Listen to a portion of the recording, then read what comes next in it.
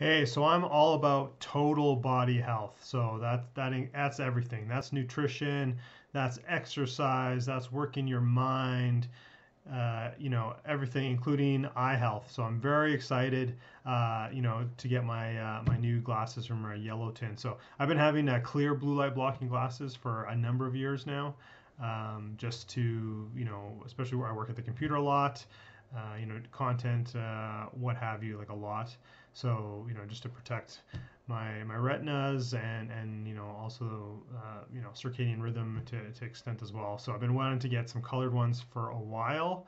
Uh, the problem is I, I do wear glasses. I do have a prescription. So finally got around to going with a company that can actually do prescription glasses. So I got these yellow tint ones for sort of late afternoon or what have you, and then I also got uh, these red ones that I will.